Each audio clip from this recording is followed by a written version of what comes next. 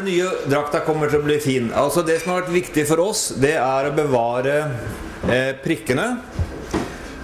Og så er det viktig å si at eh, for Spring sin del så er det viktig at eh, det er den fargen som er Spring sin farge. Og det er det vi skal representere. Og det tror jeg vi kommer til å gjøre veldig bra. Vi kommer til å bli synlige. Og vi er 80 stykker, men vi tåler jo noen flere, ikke sant? Jo visst gjør vi det. Eh, Det er bare å dra inn eh, slekt og venner og uvenner og alt som kan sykle. Så eh, ja, vi har kapasitet til sikkert 200.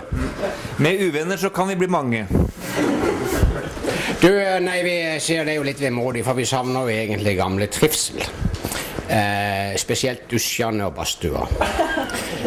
Eh, syklene og men, men alvorlig talt, det miljøet der nede, det var veldig, veldig flott. Nå er det slutt, og nå eh, må vi se framover. Og vi er veldig godt i gang. Det skal bli veldig spennende. Og um, vi går på med friskt mot. Er vi enige i det? Skal vi ta et lite hipp-hipp? Ja. Hipp, hipp, hipp! Hurra! Hipp, hipp, hipp! Hurra! Hipp, hipp, hipp! Hurra! Hipp, hipp, hipp! Hurra!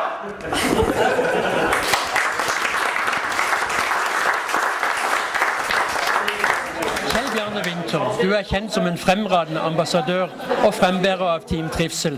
Når ble Team Trivsel grunnlagt, og hvem var disse vidsynte menn?